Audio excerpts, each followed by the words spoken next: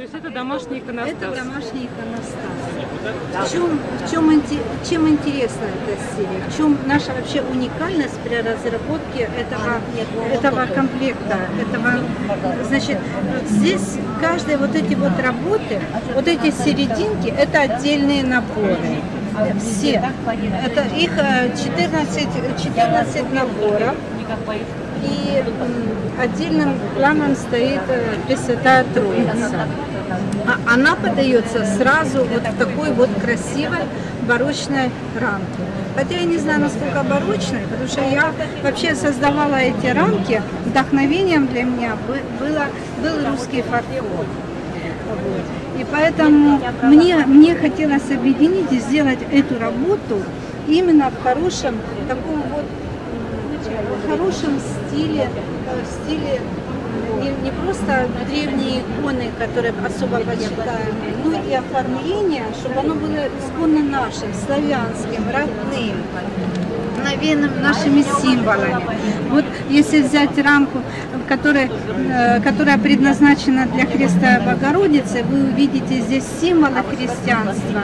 Это э, пшеница, это виноград, который всегда был символом христианства. Если вы видите виноград, это полуобъемная вышивка.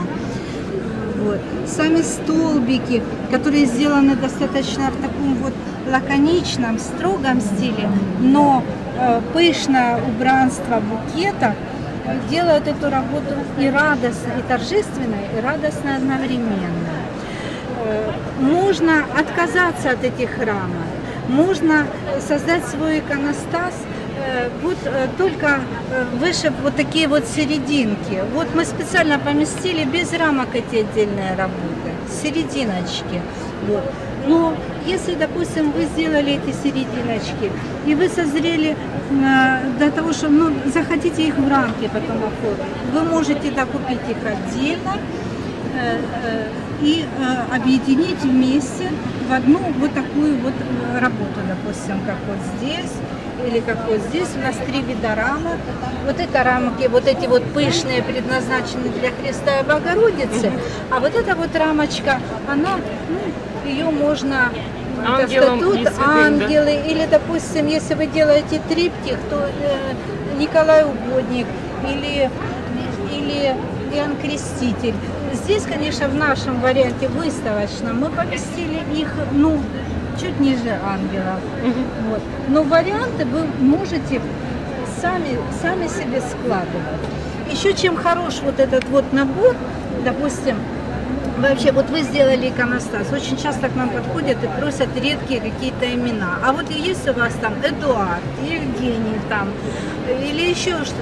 Но нету, конечно, не, ну не будет такого, потому что создание вообще всех этих работ это достаточно затратный процесс.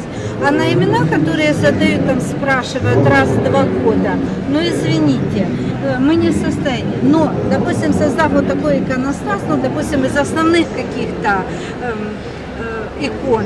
Вы можете дополнить их именными, купить отдельно, вот, э, скажем, вот такую рамку без серединки, и сюда уже вставить купленную в церкви свою именную иконку. И, может быть, даже если проявите фантазию, дополните ее вот таким вот нимбом, у вас уже будет опыт, опыт вышивки подобного нимба вот, ну, на предыдущих работах. И вы можете указать любые имена, вот так вот, допустим, здесь вот ваш иконостас, а здесь вот э, в нижнем ряду вы можете там Эдуардов, Евгениев, э, Марков, э, ну, и кого, так сказать, э, кто ближе по душе. Вот таким образом. Отлично.